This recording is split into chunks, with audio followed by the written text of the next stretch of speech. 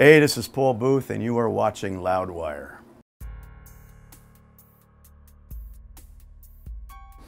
I was a punk rocker originally, and uh, hardcore, even UK punk, anything punk, you know. And I, was a kid in the school with the big blue mohawk and chains hanging from everywhere, and um, uh, very suburban punk kind of kid, I guess. And uh, I remember uh, the transition band for me was uh, Motorhead. Uh, back in that day, I mean, I, I was, uh, you know, I was at CBGB's every weekend and back in the early 80s, you know, in 81, 82, 83. Um, so I saw these, all these classic punk bands and uh, uh, I was a huge Plasmatics fan. Wendy O was like my first love, you know. Discovered Motorhead, and that brought me over to Venom and uh, Metallica and Slayer. I still listen to punk, but I, I was uh, transitioning 84 around that year. Um, and uh, so, of course, I became a huge Slayer fan. Um, you know, back then, uh, it was like a religion, really. And uh, I basically, uh, I remember sitting my first year of tattooing years later, like 20 years old. I, uh, the boss would leave and leave me in charge of the shop, and the first thing I do is put Slayer on the radio and jam to it while I'm tattooing. And yeah, I was in high school, and the first tattoo exposure that I can remember. I'm not sure I, I'm sure I saw stuff previously, but the bad boy in our school.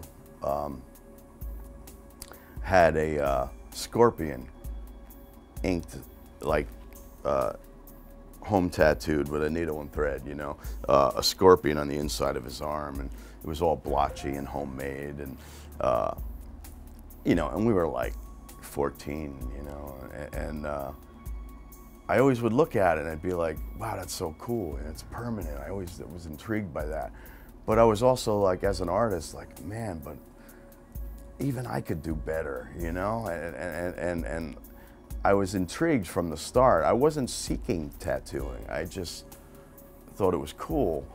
Um, and then when I was 19, I had a, uh, uh, my kid freaking out, of course, because I was 19, and, and, and I'm like, oh my God, I'm a father, you know, and I'm not one to run away, but it was a hard time to deal with it, you know, and uh, my friend suggested, why don't you get her name tattooed on you, and then, you know, kind of as a coping mechanism, like an accepting, like, okay, I'm a dad, you know. And I did.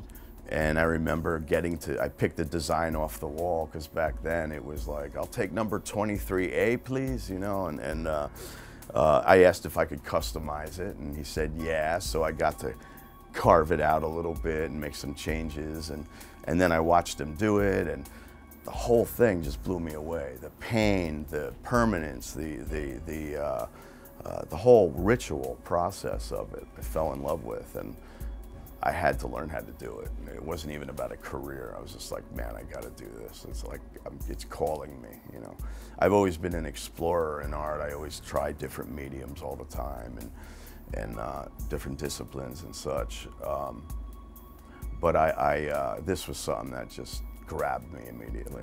So I scrounged up money because back then to get an apprenticeship, you generally paid for it. And uh, I think it was five grand.